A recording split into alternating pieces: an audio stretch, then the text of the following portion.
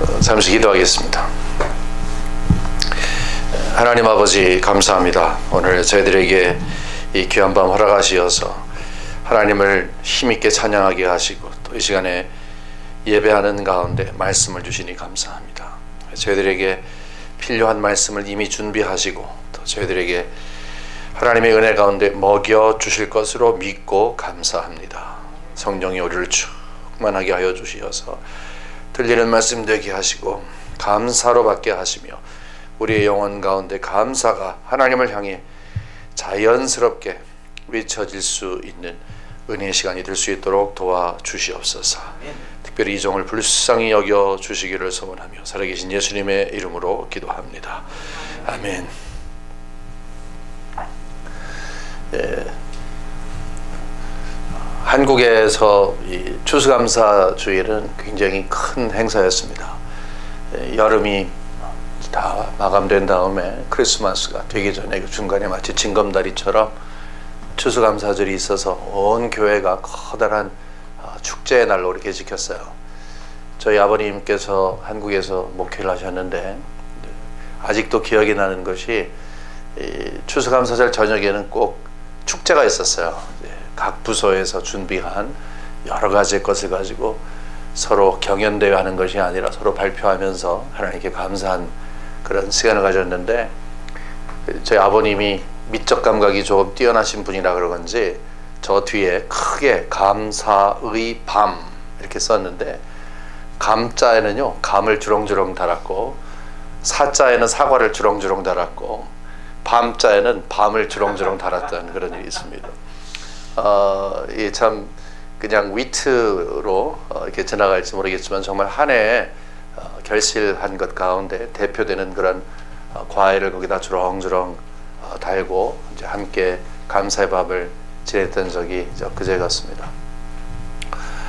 어, 여러분 이제 감사의 계절이 됐어요. 벌써 11월 달이 됐습니다. 세월이 참 빠르네요. 김 목사님 기도하실 때도 엊그제가 송구현 시인 예배 드린 것 같은데 새해를 시작한 것 같은데 조금 있으면은 이제 연말이 되고요. 이제 2019년이 시작되는 그런 마당이 있습니다. 감사의 계절을 하나님께서 허락하시는 것은 이유가 있는 것 같아요. 어, 원래 우리 그냥 내버려 두면 감사하는 사람들이 아니기 때문에 그 모습은 이스라엘 백성들이 40년 동안 광야 생활하면서 하나님이 그렇게 좋은 것으로 다 공급하셔도 조금만 부족하면 불평하고 투정하고 원망했던 그들의 모습을 보면서 아이고 어떻게 저러나 그러지만 사실은 그들의 모습이나 어, 저의 모습이나 일반입니다. 어, 우리는 하나님의 은혜로 그냥 감사하며 살아가는 것들이지 어, 그냥 내버려 두면 우리는 감사할 수가 없습니다. 그래서 하나님께서 이 감사의 계절, 특별히 감사절을 저희들에게 허락해 주셔서 이 감사에 대해서 집중해서 다시 감사를 회복하는 그런 신앙을 갖게 하시는 은혜가 있습니다. 그래서 이 감사의 계절에 이 감사절을 맞아서 저희들에게는 과연 그 하나님께 감사하는 마음이 있는가 이것을 한번 발견해 보는데 특별히 감사를 한다면 무엇 때문에 감사하는가 또 감사를 하지 못한다면 왜 못하는가 또 어떻게 하면 감사할 수 있을까 이런 감사에 대해서 우리가 함께 집중해서 말씀을 듣도록 하겠습니다. 어린 아이들이 아, 주 어린 아이들이 주일학교에서 교육을 받을 때 참 잘 받은 게 있어요. 저도 그 중에 하나였던 것 같은데 이제 선생님께서 사탕을 딱 들고 여러분 이거 누가 주셨어요 하게 되면 애들이 다 그냥 큰 소리로 뭐 이 발음을 너무 이렇게 신경 안 쓰면서 하나님이요 하게 되면 사실 하나 해야 되는데 하나요 그래갖고서 그냥 소리를 팍 지릅니다. 여러분 기억나실 거야. 하나요 그런 거예요. 그 다음에 어떤 거든지 과자를 내고 여러분 이거 누가 주셨어요? 그러면 어, 저는 그렇게 어린아이들이 순수하게 어, 우리가 누리고 있는 모든 것들이 다 하나님이 주셨다고 하는 것을 어, 인정하고 감사하는 모습이 좀 그리워요. 여러분 부모님 누가 주셨어요? 하나님이요. 이 교회를 누가 주셨어요? 하나님이요. 옆에 있는 친구 누가 주셨어요? 하나님이요. 여러분 사실 맞잖아요. 하나님이 주셨잖아요. 하나님이 주셨기 때문에 하나님이 주셨다고 이야기하는데 순수한 마음으로 이야기를 하는데 우리는 이제 똑똑해지기 시작을 하는 거예요. 사탕 누가 주셨어요? 그러면은 어, 이거는 헌금을 해서 재정부에서 지출을 해서 이 교육부에 계신 분이 이렇게 해서 뭐 하니까 생각이 참 많아지는 거예요. 하나님이요라고 딱 나오지 못하고 여러 가지 생각들이 이제 있게 되는 거예요. 그래서 이거 부장 집사님이요라고 할지 아니면은 뭐 교육부 담당 장로님이요라고 할지 이게 막 혼동되기 시작하는 거예요. 그러니까 어쨌든 하나님이요라고 했던 그 순수한 마음이 생각이 많아져. 우리 똑같은 거예요. 우리 삶 가운데서도 우리 생명도 하나님의 것이요. 우리가 누리는 모든 것들이 하나님의 것이요. 의식주 다 하나님의 것이요. 다 하나님이 주신 것인데 우리가 너무 똑똑해져서 생각이 많아지는 거예요. 생각이 많아질수록 어린 아이 시절에 어린 아이들이 지녔던 그 순수한 하나님 중심으로 모든 것을 보는 것으로부터 우리는 스스로 포기하는 것이 아닐까 이렇게 생각을 합니다. 사실 그러다 보게 되면 우리는 감사가 우리 삶 가운데서 많이 줄어들게 돼 있는 거죠. 사실 감사라고 하는 것은 반응이잖아요. 감사를 그냥 아무것도 없는데 무조건 감사해. 그러면 왜? 이렇게 왜? 하지만 적어도 사탕 하나 받고 정말로 뭐 정말 자리 하나 이렇게 양보해도 뭐 돌아오는 게 있어야 감사하는 거잖아요. 하나님께서 공급해 주신 것이 모든 것인데 하나님의 은혜 아니고서 이루어지는 것 아무것도 없고 우리가 누리고 있는 모든 것들은 다 하나님이 은혜로 주신 것인데 은혜 보답하는 반응하는 우리의 신앙을 점검해 보면 사실 우리는 많이 배은망덕한 사람들입니다. 하나님께 감사드릴 것들이 얼마나 많이 있어요. 그런데 우리는 감사드리지 못한다는 거예요. 그것은 하나님의 감사에 대한 반응을 하지 못하는 것이고 하나님이 우리에게 주신 그 은혜를 제대로 인식하지 못하고 있다는 것이죠. 이 골로새서 오늘 본문이 되는 골로새서는 바울이 옥중에서 쓴 글입니다. 옥중 서신 중에 하나입니다. 이 바울이 스스로 세운 교회가 아니죠. 에바브로가 세운 교회입니다. 근데 감옥에 있어서 소리를 듣는데 좋은 소식이 들리거든요. 골로새에 있는 사람들이 참 그리스도 안에서 무럭무럭 잘 자라고 있고 어, 참 은혜 가운데 지내고 있다는 그런 말 들으면서 바울은 굉장히 기뻐하며 이 편지를 쓰고 특별히 오늘 이 본문이 되고 있는 어, 이 본문 짧은 이 두 절은 그들을 더 격려하기 위해서 책망하거나 아니면 가르친다기보다는 지금 잘하고 있어. 너무너무 잘하고 있는데 계속 그렇게 해라 라고 하는 그런 의미로 어, 기록한 것입니다 여러분 어, 많은 부분에서 이제 우리가 좀 반성을 해야 할 것이 있어요. 로마서 1장 21절에 보게 되면 이 시대의 정신을 이야기해요. 이 시대의 정신. 이 시대의 정신은 우리 가까이 있어요. 아주 힘을 갖고 있어요. 그렇지만 잘 느끼지를 못해요. 햇볕이 막 찔 때 우리는 더워서 옷을 벗잖아요. 막 추위가 올 때는 더, 어, 더우니까 옷을 더 많이 입잖아요. 눈에 보이지 않습니다. 하지만 추위는 가까이 있고 더위가 가까이 있는 것처럼 이 시대의 정신은 바로 우리 앞에 있고 우리 안에 들어가 있어요. 그 중에 하나가 뭐라고 이야기하냐면 감사하지 못하고 있다. 그런 얘기를 해요. 어, 감사를 못하는 것이 그냥 어, 감사를 못했 옛날에는 감사를 했는데 지금은 감사를 못한다. 옛날엔 감사 생활을 엄청나게 많이 했는데 지금은 그러지 못한다. 이 정도가 아니라 감사하지 못하는 것은 이 시대의 정신에 눌려 있다는 거예요. 이 시대 사람들은 감사하지 않는다는 거예요. 그러니까 감사하지 않는 게 정상인 것이 모두가 다 그렇게 살아가고 있는 거예요. 그렇게 있는 거예요. 그렇다, 그렇게 있다 보니까 결국은 우리는 감사에 대해서 관심도 없어지고 관심은 그냥 우리가 하고 싶을 때 하는 것으로 생각을 하게 됩니다. 그러나 여러분 분명히 한 가지 어, 짚고 넘어가야 될 것이 있습니다. 우리 모두는 다 하나님의 은혜로 우리가 이 땅에 태어났고 오늘까지 왔습니다. 그리고 앞으로도 하나님의 은혜 가운데 우리는 살아갈 수밖에 없어요. 그러면 하나님의 은혜를 확실하게 깨달으면 감사가 터져 나옵니다. 다시 한번 말씀드릴게요. 어떻게 하면 감사할 수 있습니까? 이 시대의 사조, 이 시대의 정신은 우리를 감사를 못하게 하는데 그럼 어떻게 했으면 좋겠습니까? 감사를 어떻게 잘하고 싶은데 어떻게 했으면 좋겠습니까? 그러면 감사 학교를 갑니까? 감사의 종류가 이렇습니다. 감사하는 방법은 이렇습니다. 감사하면 이렇게 됩니다. 하나님 감사하면 이렇게 반응합니다. 이렇게 할 때 우리에게 어, 유익이 옵니다. 그런 거 감사 학교를 가면 될까요? 그게 아니죠. 딱 한 가지예요. 딱 한 가지. 하나님의 은혜를 확신하게 될 때에 자연스럽게 감사가 터져 나옵니다.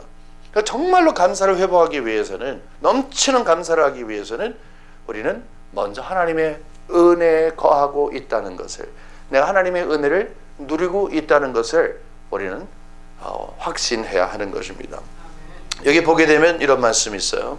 6절에 보니까 그러므로 너희가 그리스도 예수를 주로 받았으니 그 안에서 행하되 어, 예수를 받는 것은 복음을 받은 거죠. 피해 복음을 받은 거죠. 그러니까 복음 안에 예수 그리스도 안에 우리가 살아가고 있는데 전에는 외인이요.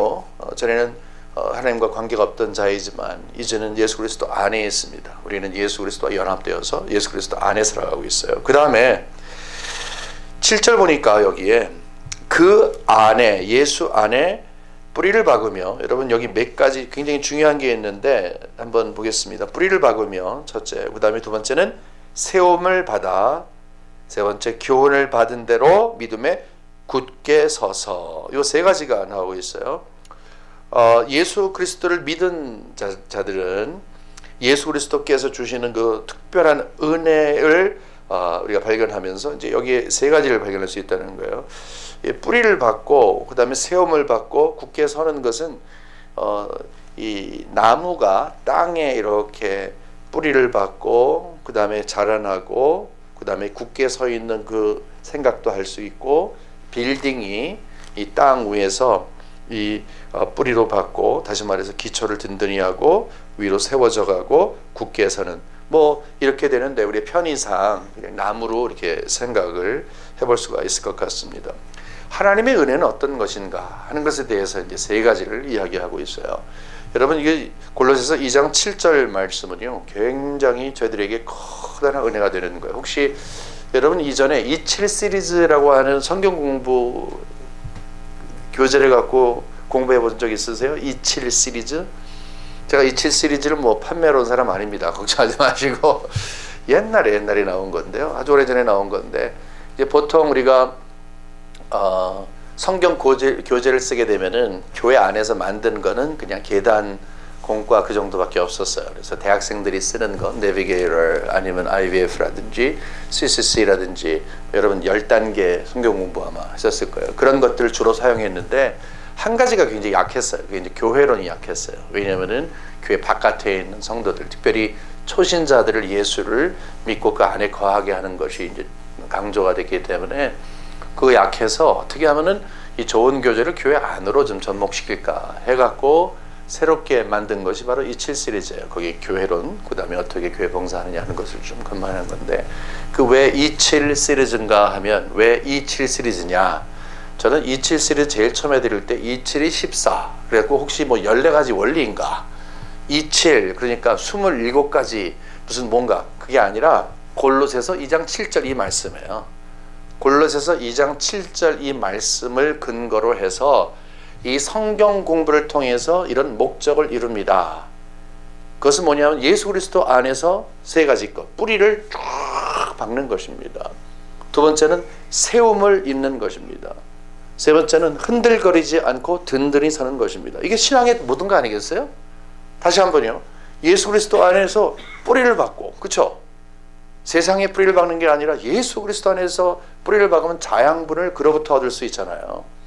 예수 그리스도부터 정말로 그가 공급하시는 모든 것들을 다 공급받으며 그 다음에 쑥쑥쑥 무럭무럭 자라나는 거잖아요. 영적인 자연분을 우리에게 하나님께서 은혜로 허락하셔서 말씀을 주시는 거잖아요. 성령을 통해서 저희들에게 말씀을 계속해서 공급해 주시는 거. 그러니까 그것을 이야기하는 거고 세 번째는 그러므로 어떤 역경에서도 흔들리지 않고 굳게 서는 것. 아무리 폭풍우가 와도 나무가 뿌리가 든든하고 이렇게 잘 어, 자란 나무는 절대로 넘어지지를 않잖아요. 그러니까 이 세상에서 여러 가지 일을 경험해도 하나님의 은혜로 우리가 뻗쳐나갈 수 있는 것을 이야기합니다. 그러니까 제일 첫 번째부터 맨 마지막까지 다 모든 것이 하나님의 은혜인데 이것을 구분을 해서 어떻게 하면 예수 그리스도를 더 친밀하게 사랑하며 그 안에 거할 수 있는가? 어떻게 하면 신앙인으로 성장할 수 있는가? 어떻게 하면 이 세상을 잘 이겨나갈 수 있는가? 결론은 다 하나님의 은혜예요, 여러분. 하나님의 은혜로만 가능한 거예요. 그러니까 하나님의 은혜라고 하는 것은 추상적인 게 아니에요. 은혜 그러면은 뭐 우리가 어, 신학자들이나 뭐 연구해 갖고서 발표하고 그들이 끄떡끄떡할 그런 게 아니라는 거죠. 삶이 은혜예요. 여러분 여기 오신 것도 은혜예요. 식사를 하게 하신 것도 은혜예요. 저에게 어떤 분이 지금 병원에 계신데 아 글쎄 건강하셨던 분인데 아 여기 누워 계시는데요. 지금 아무것도 못 드세요. 한 달 동안 수술을 한 다음에 들질 못하세요. 그래서 이제 그 혈관 주사를 해갖고서 영양분을 이렇게 넣어서 있는데 아니 어떻게 그럴 수가 있지? 병원에 갔다가 오게 되면요 숨을 이렇게 쉬는 것도 하나님의 은혜예요. 식사하는 것도 하나님의 은혜예요. 여러분 대소변 화장실 가서 보시는 것도 하나님의 은혜예요. 다 하나님의 은혜. 하나님이 아닌 게 아무것도 없어요. 그런데 하나님의 은혜 가운데 정말 은혜는 예수 그리스도를 우리에게 주셨다는 것이죠. 그리고 예수 그리스도의 사람으로 우리가 서게 하는 것이죠. 우리 신앙의 근거는 예수밖에 없잖아요. 우리의 승리의 근거도 예수님밖에 없잖아요. 그러니까 예수 그리스도의 복음이 그렇게 파워풀하는 거예요. 예수 그리스도의 복음. 그 복음의 능력이 우리에게 이미 나타났고 계속 나타나서 우리를 붙들어 가시는 거예요. 그것이 은혜인 것이죠. 그러니까 예수를 우리에게 주셨으니 그를 주로 삼아 그 다음에 그 안에 뿌리를 받고 그 안에 세움을 입고 그 다음에 요동하지 아니할 때 여러분 그 다음에 어떤 일이 나는가 한번 보시기 바랍니다. 제가 7절 다시 한번 읽을게요. 그 안에 뿌리를 박으며 세움을 받아 교훈을 받은 대로 믿음에 굳게 서서 감사함을 넘치게 하라. 자, 믿음에 굳게 서그 다음에 뭐라고요? 감사함을 넘치게 하라. 자, 보세요. 앞에 있는 세 가지의 것. 뿌리를 받고 세움을 입고 든든히 선 것. 그래서 하나님의 은혜로 가능한 거예요. 그 하나님의 은혜로 우리에게 주시는 거예요. 그래서 하나님이 우리에게 하시는 거예요. 그 다음에 맨 마지막 거 감사함을 넘치게 하라는 하나님이 우리에게 명령하신 거예요. 너희가 그 은혜를 그렇게 받았다니 너희들이 정말 그렇게 큰 은혜를 받았다니 너희들은 지금 어떤 생각을 하며 살고 있니? 하나님의 은혜를 받은 너희들은 지금 어떤 반응을 하고 있니? 라고 하면서 하나님이 기대하시는 거예요. 이렇게 기대하는 게 뭐냐면 우리에게 감사가 넘치기를 기대하시는 거예요. 근데 그것은 쥐어짜는 게 아니에요. 위협하는 게 아니에요. 감사 안 하면 뭐 재미없어. 그런 게 아니에요. 하나님의 은혜를 기억하면 하나님의 은혜를 정말 기억하면 감사가 터져 나온다 그랬잖아요. 왜냐면 감사는 반응이니까 하나님의 은혜입니다라고 하면 하나님 감사합니다. 하나님이 주신 은혜라고 생각하면 감사합니다. 왜 우리가 감사하지 못하느냐?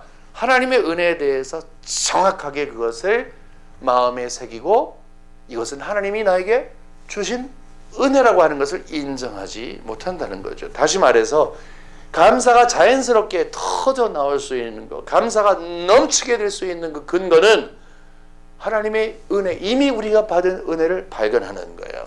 그리고 하나님이 언약으로 주신 약속들을 붙들고 가는 거예요. 눈에 보이지 않아도 보이는 거예요. 그게 믿음 아니겠습니까? 얻지 않았지만 얻은 것으로 확실하는 거예요. 거기에서 하나님 중심되는 삶을 사는 거예요.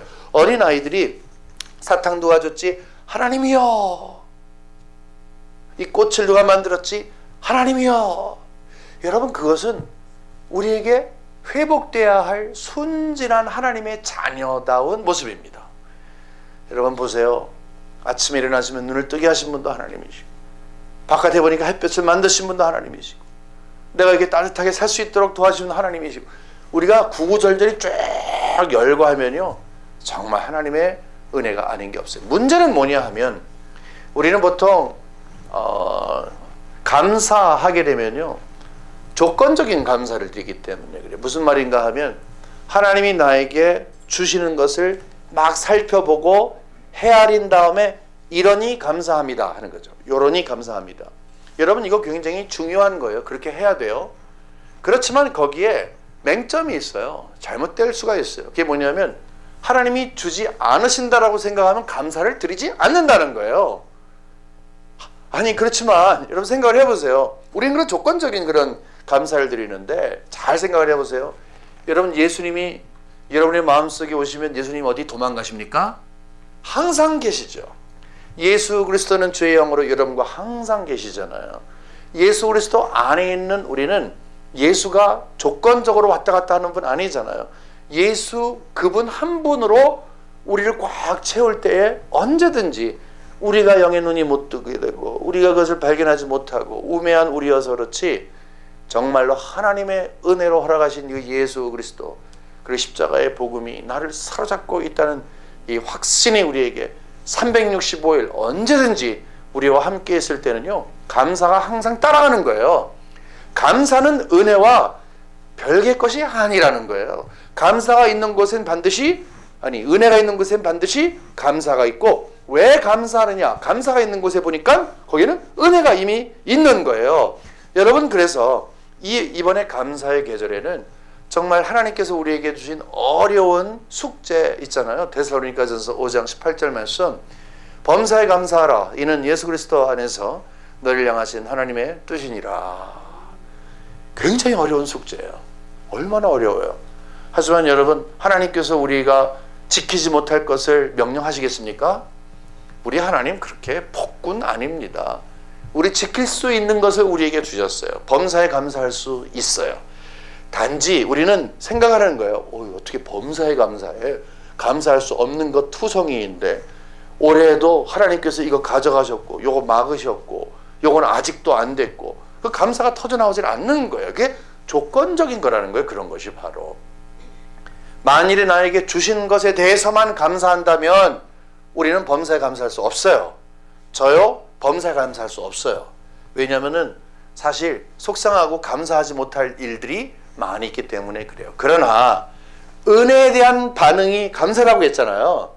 하나님께서 때로는 가져가시기도 하시잖아요. 욥의 경우 완전히 많이 가져가셨잖아요. 하지만 결국은 하나님의 은혜였잖아요. 하나님의 은혜 가운데 생긴 일 아니에요.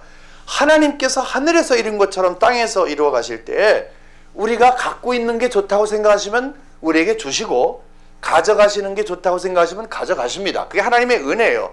하나님이 왕창 주시면 그것이 우리에게 유익이면 왕창 주시고 조금 주시는 것이 유익이라면 조금 주시는 거예요. 하나님이 조절 다 하시는 거예요. 근데 우리는 그것을 우리 인간적으로 생각을 해서 범사에 감사할 수 없습니다. 자꾸 주시는 것에 대한 감사, 그게 아니라는 것입니다. 여러분 우리 이번에는요 반드시 우리 안에 있는 예수 그리스도 나를 붙들고 계신 예수 그리스도의 영 내가 예수 그리스도 안에 뿌리를 박게 하시고 예수 그리스도 그를 담는 성장하는 사람으로 서게 하시고 그리고 그뿐만이 아니라 어떤 풍랑 가운데서도 어떤 어려움 가운데서도 나를 붙들어 주시는 그분 목자가 되셔서 앞에 서셔서 푸른 초장을 그리고 쉴만한 물가를 가실 때는 우리를 끌고 가실 때는 그때는 웃지만 우리는 사망의 음침한 골짜기를 가면 금방 찌그리는 거예요. 그렇지 않습니다, 여러분. 사망의 음침한 골짜기를 가든지 아니면 푸른 초장을 가든지 하나님이 우리와 함께 계시면 거기에서 우리는 감사가 터져 나올 수 있는 것입니다. 왜냐하면 그것이 바로 은혜이기 때문에 그렇습니다. 하나님의 은혜를 제대로 깨닫게 되면 하나님의 은혜를 풍족하게 우리가 깨닫게 되면 바로 거기에서 우리는 감사가 자연스럽게 나오게 되어 있습니다. 그래서 이번 감사절을 맞아서 우리 오늘이 화요일이니까 내일 모레가 감사절이네요. 여러분 가족에게 가셔서 서로 이번에는요 예수님 때문에 우리가 감사한 그 내용들 우리가 조건이 아니라 예수 그리스도 안에서 풍족한 것 모든 것을 누리고 있는 것 모든 것을 누리고 있는 것 그것을 우리가 함께 나누면서 감사하면서 정말 범사에 감사할 수 있는 첫 출발점이 되시기를 주님의 이름으로 간절히 축원합니다. 살아계신 하나님 아버지 감사합니다. 하나님 저희들은요 있으면 좋아하고 없으면 울고 생기면 웃고 아니면 찡찡대는 이스라엘 백성들이 광야 생활에서의 모습이 바로 우리들의 모습입니다. 저희들 사실 그들보다 나은 것 아무것도 없습니다. 어찌 보면 그들보다 더 좋은 삶을 살면서도 원망하고 불평한다면 저희들에게 큰 문제가 있습니다. 오늘 문제를 하나님께서 말씀을 통해 주셨습니다. 예수 그리스도를 통한 복음, 예수 그리스도 한 분이면 만족하다는 이 신앙의 고백이 우리에게 있었는데 그리고 지금도 우리를 끊임없이 도전하고 있는데 그것을 수용하는 것이 굉장히 힘듭니다. 왜냐하면 예수와 함께 누리고 싶은 것이 너무 많기 때문에 그렇습니다. 예수와 함께 세상을 누리고 예수와 함께 부귀를 누리고 예수와 함께 누리고 싶은 것들이 너무너무 많은데 주님 잘라내게 하시고 도려내게 하시고 포기하게 하시고 이제 예수 그리스도 한 분으로 만족합니다. 예수 그리스도의 은혜 하나로 만족합니다. 아버지 바로 거기로부터 우리의 감사가 터져 나올 수 있도록 은혜 후에 은혜를 허락하여 주시옵소서. 이번 감사절을 맞아서 범사에 감사한 것이 어떤 의미인가를 깨달아 싸움에 예수 그리스도를 믿는 저희들로서 나를 신앙인으로 세우고 신앙인으로 성숙시키시고 신앙인으로 이 세상을 전천후의 신앙을 가지고 살아가게 하시는 그 하나님의 은혜에 감사하며 365의 일숨을 내시간 어느 순간이든지 감사 감사 감사가 우리 입술을 통하여 하나님 앞에 올려질 수 있는 제사가 삶 속에 지속될 수 있도록 도와주시옵소서. 간절히 바라오며 모든 말씀 예수 그리스도의 이름으로 기도 올리옵나이다. 아멘